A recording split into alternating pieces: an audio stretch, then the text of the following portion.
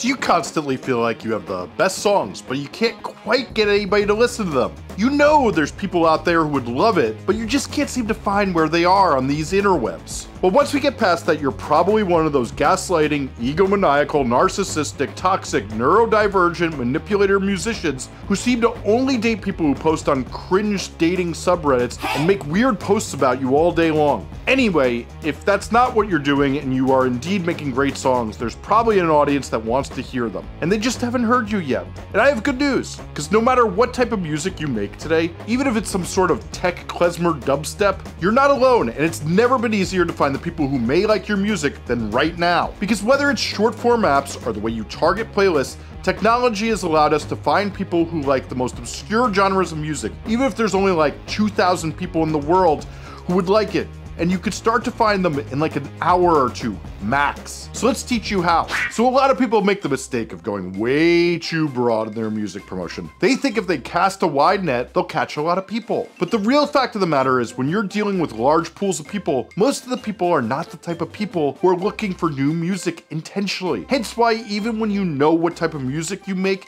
it can sometimes be hard to find the people who listen to it who are looking for their new favorite song. Since some people just put on a playlist or what they're their cool friend tells them is good and let that be their taste. They don't want to waste their time hearing bad songs and trust someone else to find them the tracks that they're gonna rinse and they just want to be served the best music that's come out recently. And this is exactly why the radio at certain times in history was more popular than putting on intentional music choices like vinyl CDs or iTunes. Whereas other people, let's call them music addicts, need to search every crevice of the sidewalk, find an artist whose fan base can fit between the sidewalk cracks to fuel their addiction addiction because they're kind of like a drug addict who dropped their drug between the sidewalk cracks. I know this person well because I am this music addict, and as are most of the people I'm friends with, so I know how to find them. But I know a lot of you are going to a negative place, so let me rescue you real quick. You're thinking, Great, Jesse. Before I watched this video, I had one problem, finding people who like my genre of music. But now I also need to find these dorks who want to hear new music too. I give up.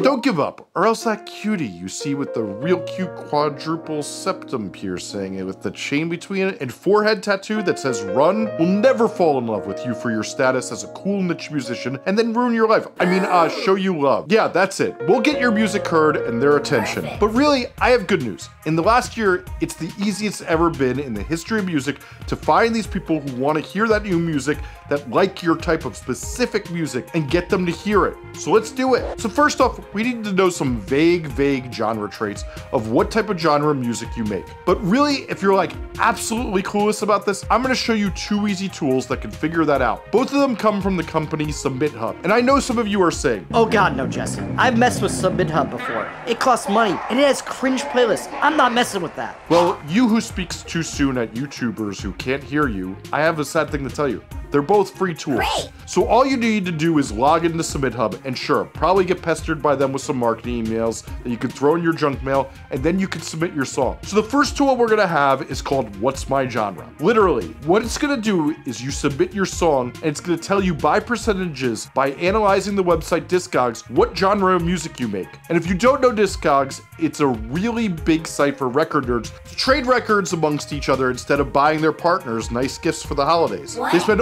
all their money on vinyl. Anyway, Discogs is where the biggest music nerds congregate and assign genres to different records. So it's actually a pretty good algorithm curated by, let's be honest, the most genre-obsessed dorks on earth who think about something that frankly is boring to just about 99.9% of us. Since none of us want to discuss the difference between brutal technical death metal and technical brutal death metal. So if you put in a YouTube link to your song, it'll analyze the full song in case your song messes with different genres throughout it. If not, it'll use your Spotify link to analyze just the first few seconds of it. It'll tell you what genre it thinks it is. And the really good news is if you're the type of artist who makes different songs with different genres, well, you can do this each time and get a pretty damn good answer to start with. So after that, we probably have three genres that are a pretty good starting place for your song sometimes just two though. Either way, this will be good enough to start. Then you're gonna post your song on SubmitHub's Hot or Not. This is a place where these nerds, I mean early adopters, come to listen to music and tell you if your track is, well,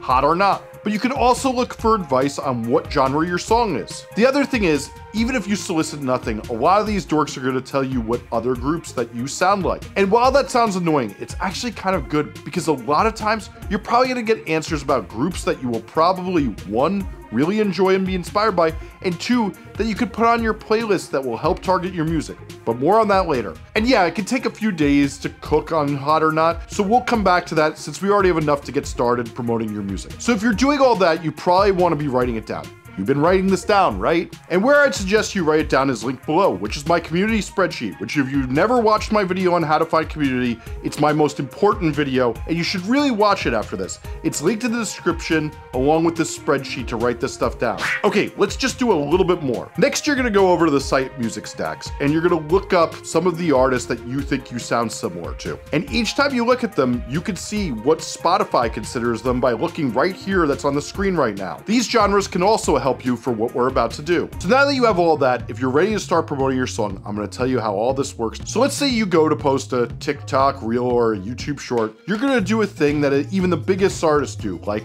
Tommy Richman, who had the number two song in the world this summer with Million Dollar Baby. And this is one of the things he did to promote his song to get that high on the charts, is he said, Ayo, what genre is this? Well, as you'll notice, that got a lot of people talking. But what you probably don't realize is what that's doing, is that when someone comments on TikTok about something, they're very likely to see one of your next videos. So if they see that next video and it has your song in it, now they've just heard it twice. And then we will hopefully get them to hear it again when you promote it and keep posting more videos. And sure enough, if they've heard of that song a bit, the more susceptible they are to that song being one that they want to go and listen to on one of the streaming platforms like Spotify or YouTube. But next you're gonna take some of those genre suggestions that people gave you in the comments and you're gonna make a follow-up video like this one from Stresshead. I like to use this as one of the examples because he actually got me hooked on his song by doing this. And I feel like I should reward them because I like this song a lot. They would post here, we're trying to figure out what genre this song is and each side would be them saying their thoughts on what the suggestions were about the genre and commenting on what they thought. This creates more controversy for these nerds, who are the early music adopters who are going to tell everyone else what to listen to. And TikTok sees the keywords in here, and people who have engaged with those words before or typed them before, it sends people these videos. So now if your video is getting engaged, the biggest music nerds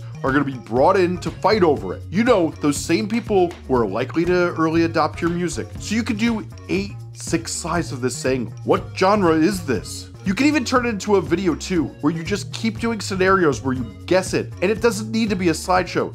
You could do both because one of the things I keep telling you all is you don't repeat yourself enough on the short form apps. And the artists who are blowing up the most that I see in my member dissections, where remember, for $5 a month, you can see me dissect the artists who are blowing up their music and how they're doing that, and I dissect all sorts of genres and you get around six to seven hours of content every single month. I do a different dissection every single week to get you up to speed of how people finally get their music heard and break their music. So what are you waiting for to click that link in the description? Anyway, what I see in those dissections is all the artists that are blowing up probably repeat themselves more than you do. It really is shocking how much they make similar videos and just keep getting better and better at them. Whereas you're all scared to make the same video even remotely twice. So anyway, you do this for the first week or so of promoting your song. And you can do some alternate ones too, like posting this till I find people who with math boom bip old school hip hop. Or you can do the um classic, yeah, that's it. Trying to find the incel hypebeast slumlord influencer and dog piss fans to listen to my new song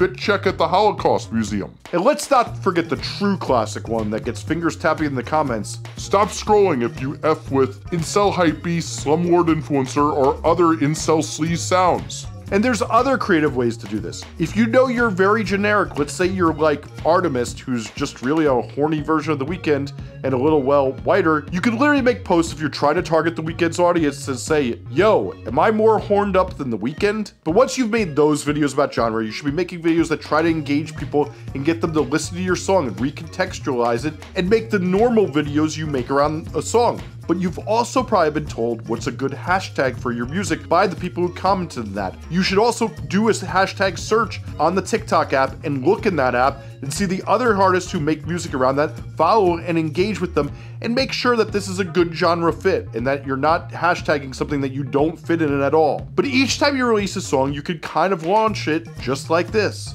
But I'm going to bring you to another tool now. There's Every Noise at Once, which I know is shut down a little bit, but it still has some active features that are really cool. So one of the things I like to do is make playlists of small artists on Spotify because you can get algorithmic ties to them if people start listening to it. And one of the quickest ways to do this is if you search for an artist who's similar to you and then click on their genre under the search, then there's often these tabs that say Edge, Pulse, and New. And all three of these playlists have lots of artists that you can just hit play on and start to find ones that you can put on the, your artist playlist. As these are algorithmically built of the newest songs that are getting some traction in that genre that have been tagged. So you can do all sorts of things with this. You could make a TikTok outside influence account like I described in one of my previous videos and do the five best scrams tracks of fall 24 and put a few of them in it with your song. And while I'm not the biggest meta ads fan, I recently made a video with the artist Jen who would promote the playlist they made of similar artists to them that are smaller, and it got him millions of monthly listeners, and that's linked in the description too. The fact is, these short form videos are what's working in the algorithm right now. It's finding tons of artists, their first fans, or blowing up artists